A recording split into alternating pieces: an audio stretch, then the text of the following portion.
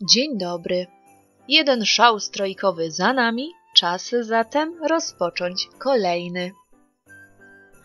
Ja już wyjęłam świąteczne dekoracje, w sumie aby zrobić taki wstępny rekonesans, co mam i co jeszcze mi się przyda. I między innymi znalazłam cztery gotowe bożonarodzeniowe wianki, które pozostały mi z zeszłorocznej sprzedaży. I tak sobie pomyślałam, że już ich nie potrzebuję. I chętnie się z nimi pożegnam. Stąd pomysł na konkurs. Także do zgarnięcia wianuszki całkiem ładne i całkiem za darmo.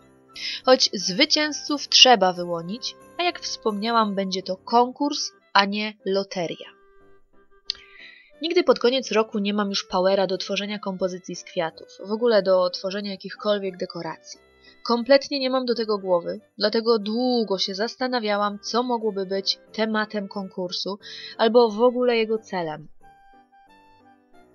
Myślałam także nad własną korzyścią, bo jednak muszę się wykosztować na przesyłki, za darmo do Was wianki nie dojadą, więc myśląc strategicznie, mogłabym też ja w jakiś sposób na tym zyskać.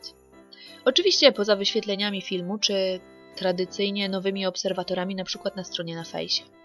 Ale w związku z tym, że nieszczególnie mi na tym zależy, bo kto chciał polubić i obserwować dekorium, już to zrobił i może dzięki własnej niewymuszonej woli zostanie ze mną na dłużej, a nie tylko do czasu ogłoszenia wyników.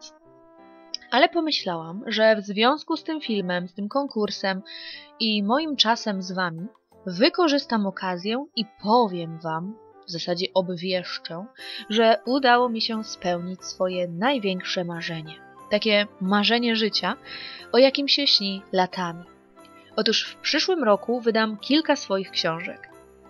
Jakoś tak się złożyło, że spełnienie tego marzenia przyszło do mnie ze wzmożoną siłą. Nie jedna książka, a od razu wiele. Dlatego co wam powiem, to wam powiem. Marzenia się spełniają. Co prawda, często trzeba im solidnie pomagać. Okej, okay, ale nie po to was tu zwabiłam, choć oczywiście ma to związek. Czas na zadanie konkursowe. Bo chyba wszyscy na to czekacie.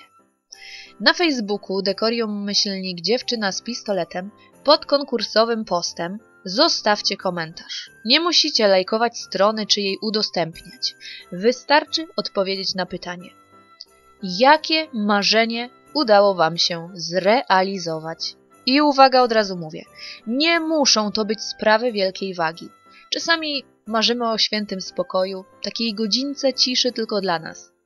O takich marzeniach też miło się czyta bo czasami nie zdajemy sobie sprawy, jak mamy proste życie, kiedy inni stawiają czoła każdej jego minucie.